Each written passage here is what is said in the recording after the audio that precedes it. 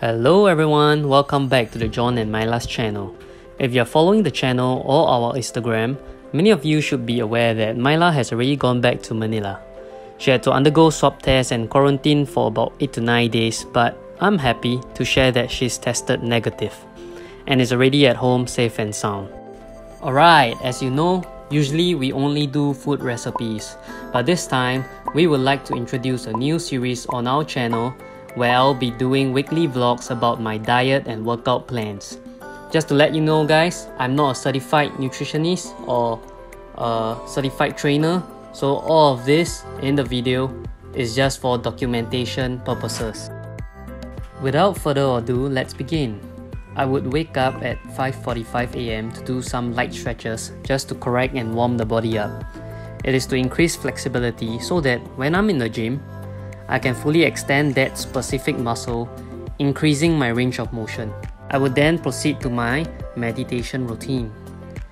10 minutes is all you need. You must be wondering what the benefits are. As stretching physically prepares my body, meditation prepares my mind to tackle the gym and the day. It helps to remove negative thoughts and manage your stress level. The steps to meditation will be you have to find a quiet spot, sit in a comfortable position, clear your mind. At this point, your mind is likely to wander away. Next, I'll be sharing my training plan. On Monday, I did chest, shoulder, and triceps. As you can see, I'm doing a bench press 5 kg per side and I did a 5x5 meaning 5 sets of 5 reps just to really get used to the gym equipment again Next I did a overhead press. As you can see, I'm carrying quite light and I'm still struggling. So this 3 weeks really is just for my body to get used to the equipment, the atmosphere of the gym. So on Tuesday, I did back biceps. I warm up by doing some pull-ups.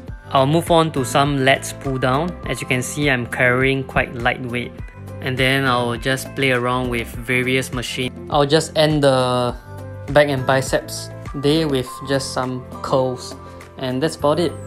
Next I'll move on to the legs exercises. I'll warm up with some lunges and then your basic squat exercise.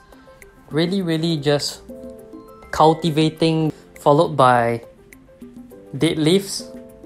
Uh, again, it's just 5 kg per side and then I'll just play around with certain machines that target the legs. For this case, it hits the quads. Next, I'll target the glutes and the hamstring with this uh, machine that I've never used before, so I just give it a try. Quick ad, I also ate beastin.sg. So what does BEAST stands for? It means bacon, eggs and some toast. There are a couple who started this sandwich together. I like them because the onions are well cooked and doesn't taste raw, and I could taste the honesty in the sandwich. If you're looking for a wholesome and filling breakfast, check them on IG at beastin.sg.